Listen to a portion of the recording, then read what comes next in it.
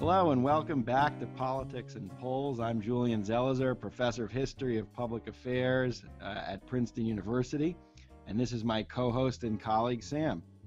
Yes, good morning. So this week we're going to turn to the media, the big elephant in the room during any discussion of the election. The news media, from the New York Times to CNN to internet sites like Vox and Real Clear Politics and podcasts they don't just report on the election, but they are major forces in how the election unfolds. This is what media scholars like to write about. Some critics have argued that this year the media literally made Donald Trump. Without the free airtime that he received in the primaries, he might not have won. There's others who've looked at the ways in which sexism has impacted the coverage of Hillary Clinton as reporters pay attention to parts of her campaign, like her voice uh, or what she wears, that's absent in coverage from male candidates. Bernie Sanders supporters argue that the media was corporate owned and wasn't interested in covering many issues that he cared about, although his campaign did pretty well.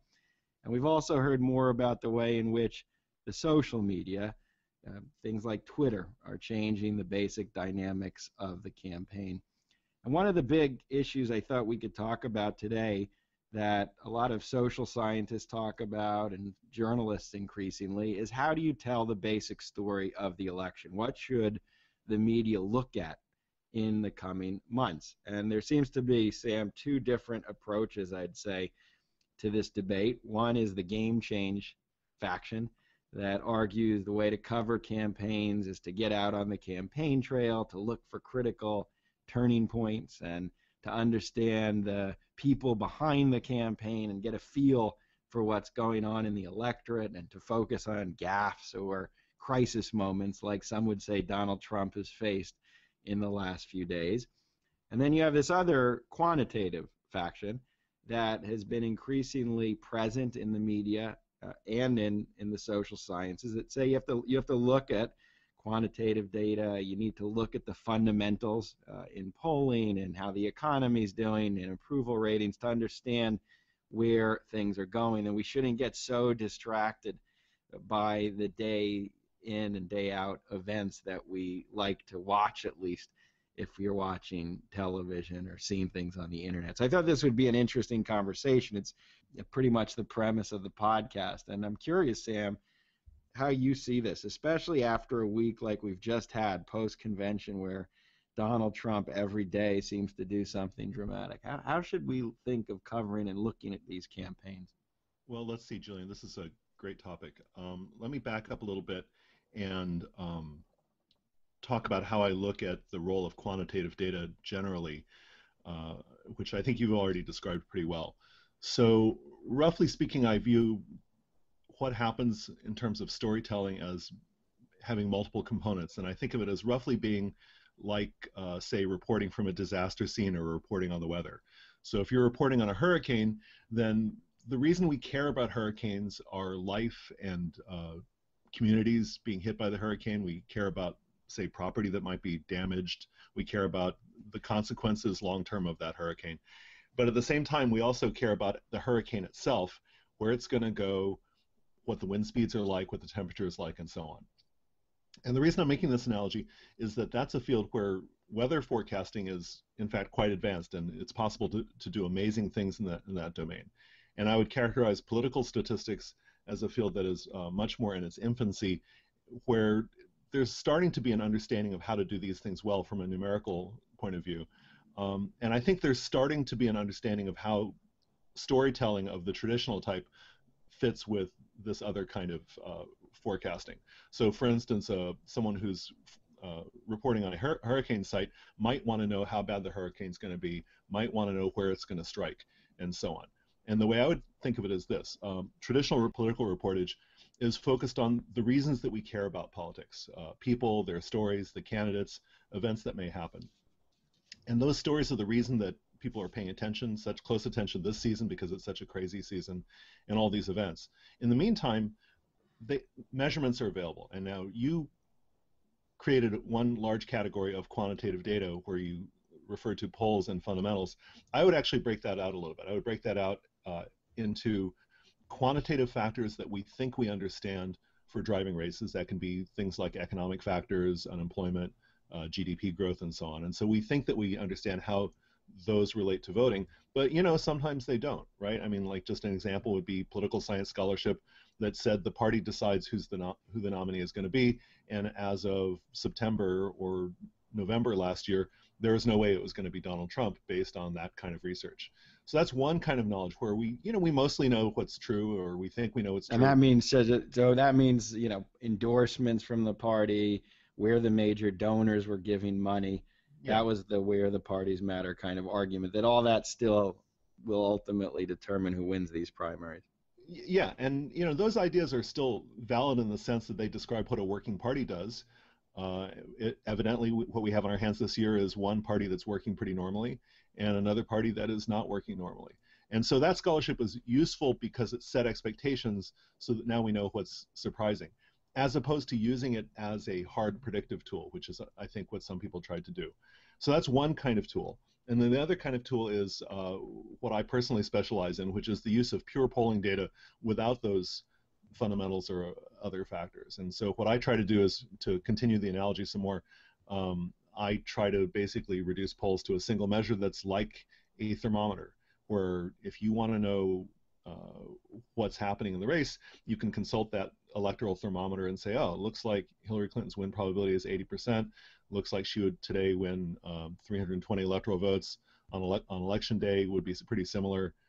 And so that electoral thermometer can provide a backdrop. It's not that it replaces the reporting, it's that it tells you what happened. So if you're watching, say, the Republican convention and you think, wow, uh, I don't know what to think of that. I've never seen a convention quite like that before. Well, I, what do other people think? And then you can go and look at some numbers and say, oh, uh, looks like other people didn't like it very much or you know likewise you know, the democratic convention um, there are people who said that that was an extremely well put together event that there were stars making speeches every night surely that's going to have a giant effect uh, well if you look at the numbers the effect was a bounce for the democrats of seven points which is yeah pretty big by modern standards but not as big as it's been in the last 50 years so why is that and so i view numbers as a way that one can objectively measure what happened as a consequence of an event, but scribes are still going to decide what the interesting events are, and sometimes they're right, sometimes they're wrong. I mean, it is certainly the yeah. case that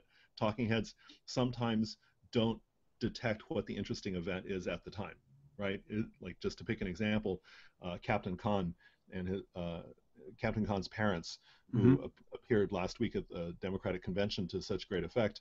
Um, Fox News cut away from that, right? They, they oh yeah, some guy looks like a Muslim guy. Yeah, let's yeah. turn away from that.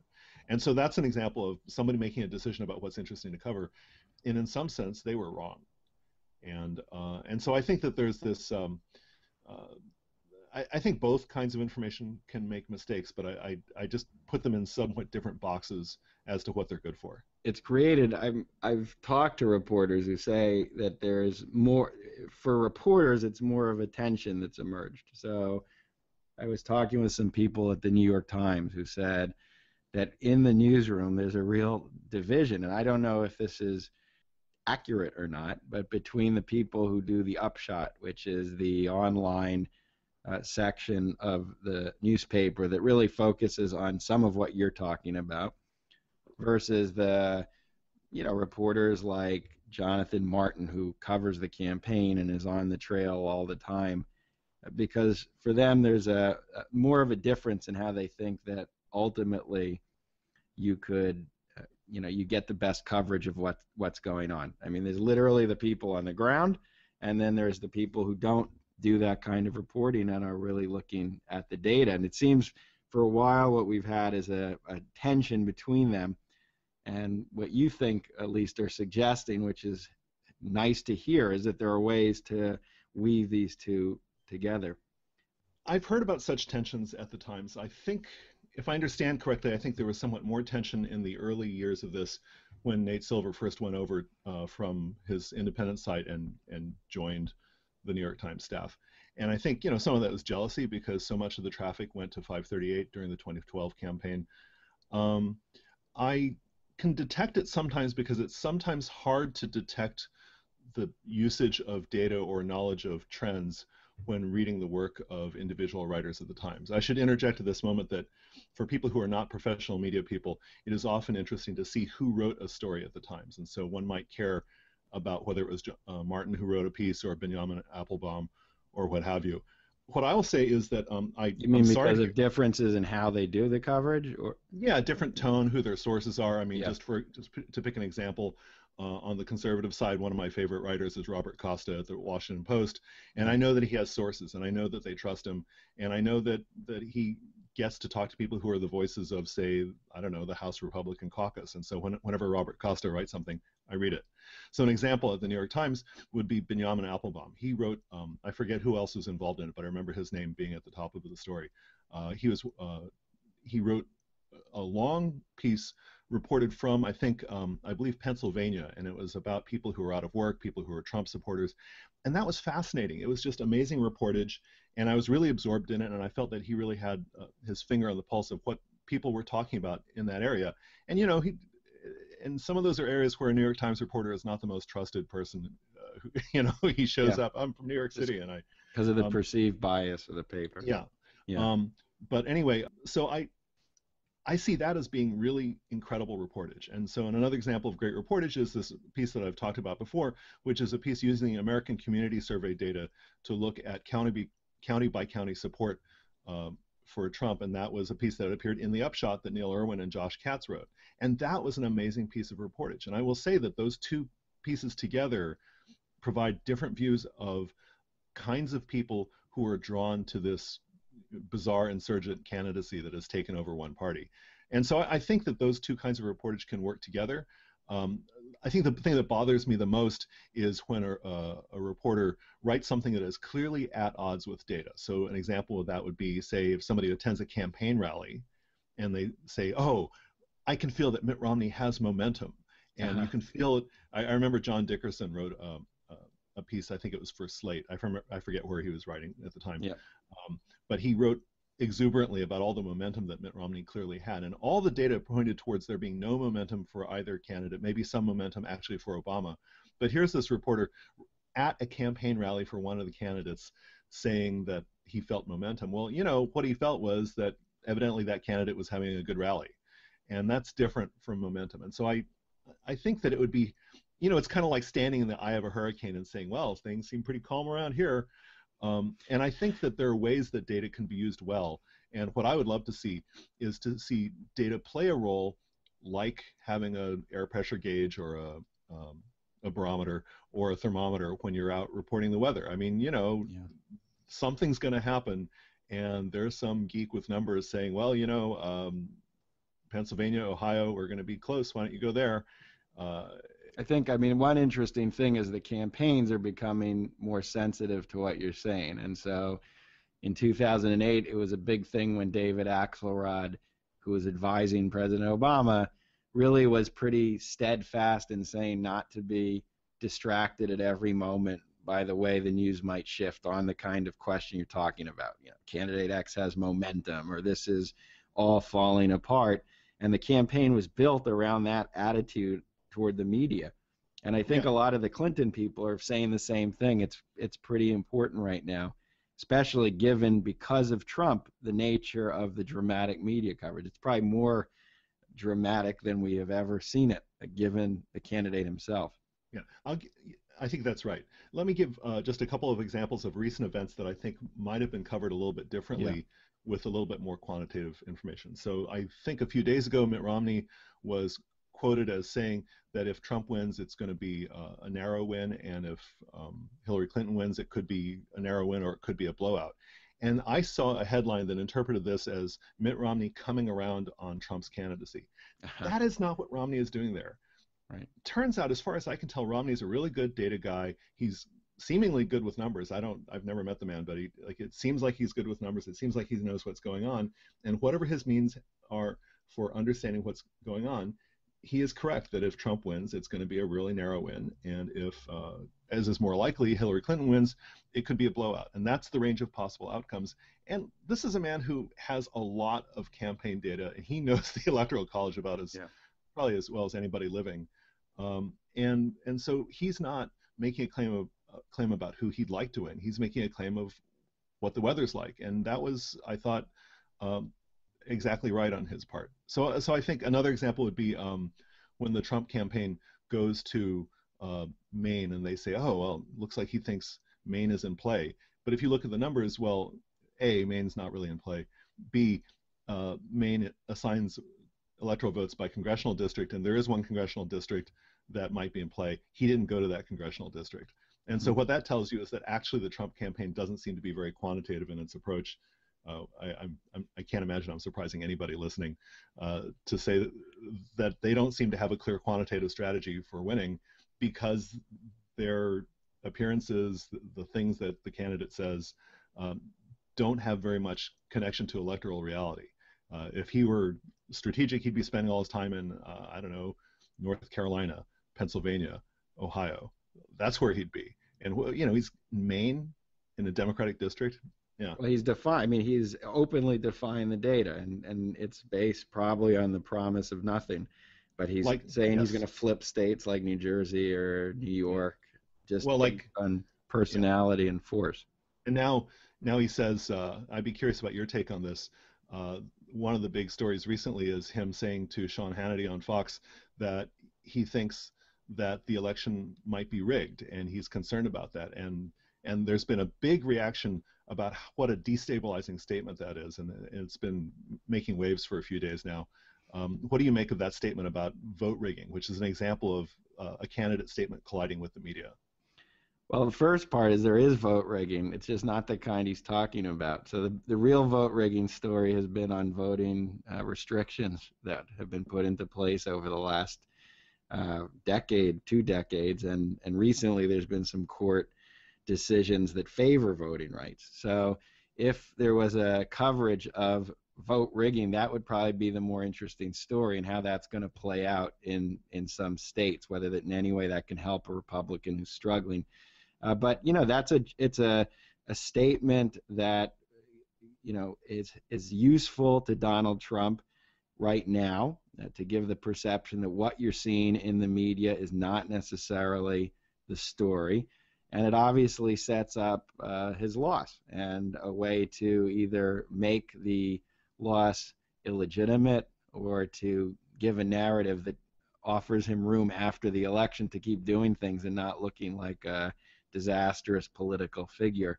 Uh, but it's going to get a lot of attention, and you know the, that's what I guess I started with. It, the, the media is attracted to these kinds of stories, and I'm not always critical. I, I understand why.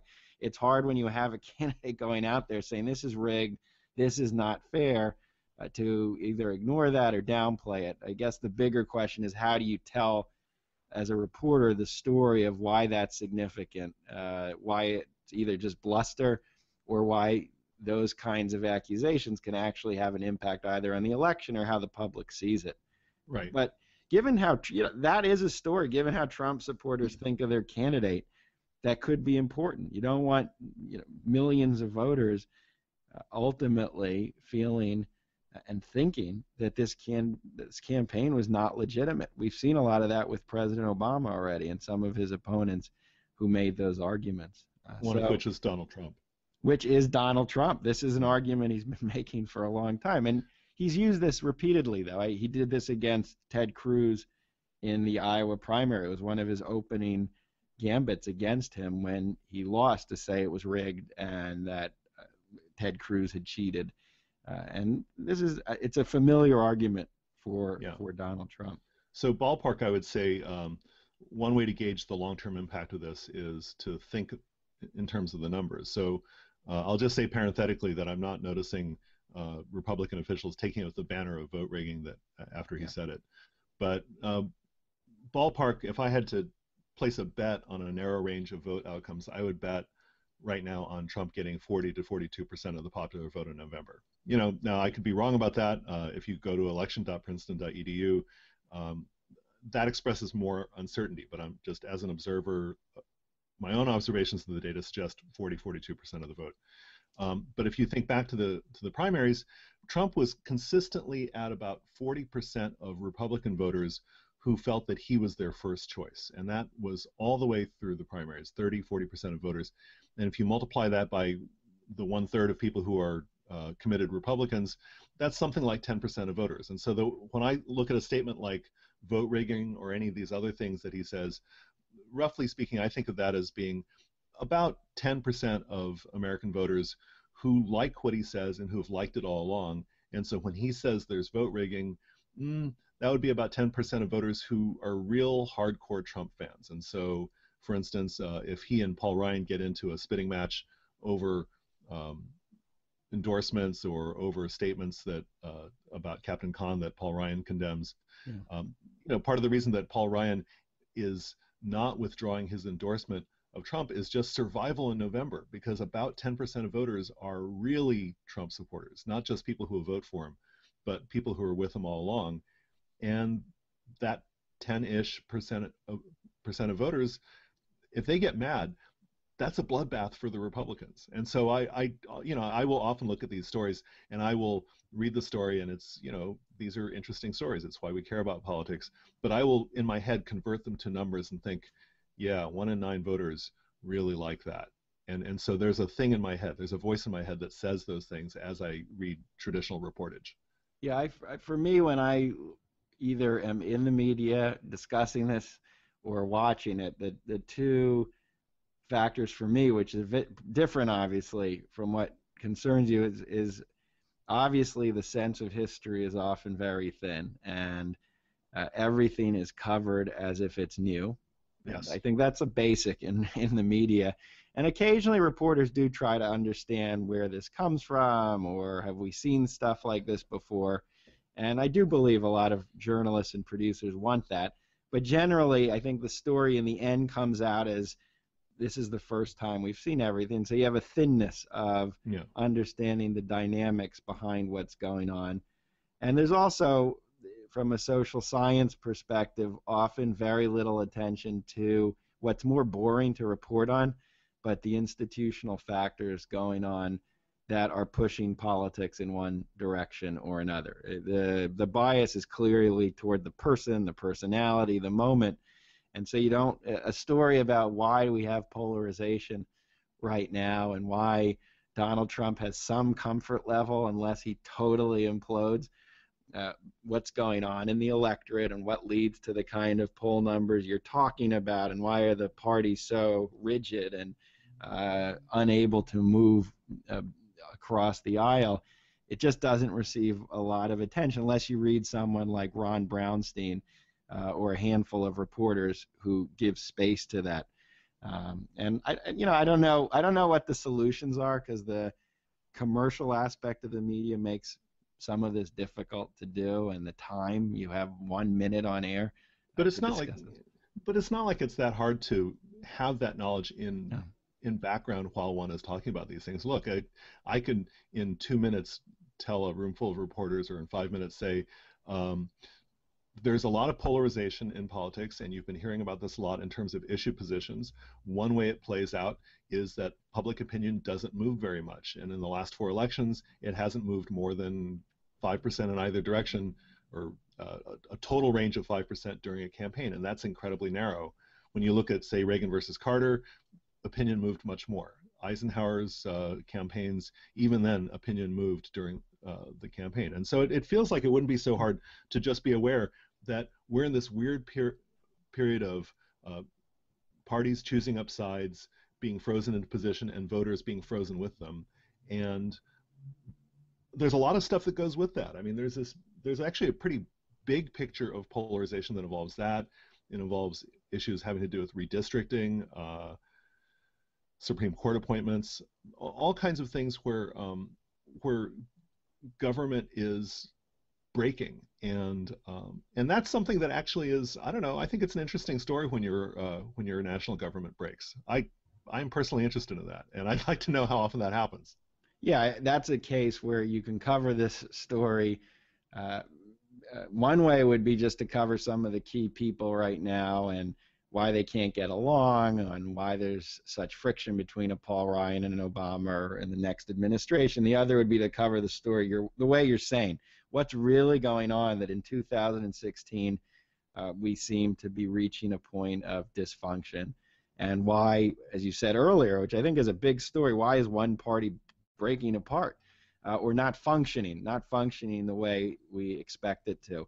Uh, I haven't seen a lot on that, but it's really an important part of understanding the Donald Trump phenomenon. I wanted to spend a couple minutes to ask you a question I thought would be uh, interesting to our listeners in terms of have you seen what's one interesting poll this week that you've seen uh, that caught your eye and that you think is significant? Oh gosh, one interesting poll. Well, considering that I consume these things like popcorn, uh, let's see. So I'm going to cheat and I'm going to ten, spend 10 seconds on one and then talk about the one that's really interesting to me. I think people who are just interested in a horse race. This is a rigged coverage, podcast. Yes, yeah. it's rigged.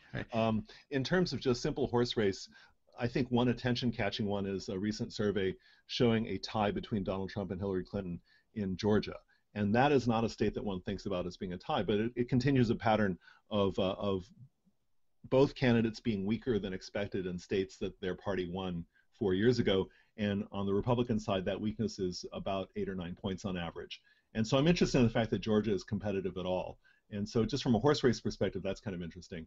But I don't think it actually matters very much um, because I, you know, my whole credo is to to look at all of the polls at once. But I would say the other poll that I'm watching is something that's not very well covered, which is the generic congressional preference poll. And this is a question like if you, the voter, were to choose a Democratic or Republican candidate for Congress, which party would you choose? And that's an interesting one because even though it doesn't name candidates specifically, it does ask about party preference for Congress, and it does an okay job of predicting the uh, the eventual national vote. And in the last several weeks, I saw it up at Democrats plus 7%, which, just to put it in perspective, if Democrats won the national popular vote by 7%, they would probably retake Congress. Not definitely, but probably um, for various reasons having to do with gerrymandering and population patterns. That number dipped uh, before and during the Republican convention down to Democrats plus 3%, which is, um, which is not so good, and it seems that they would, uh, Democrats would, would stay out of power in the, in the House. And in the last week, I've seen it bounce back up to 5%.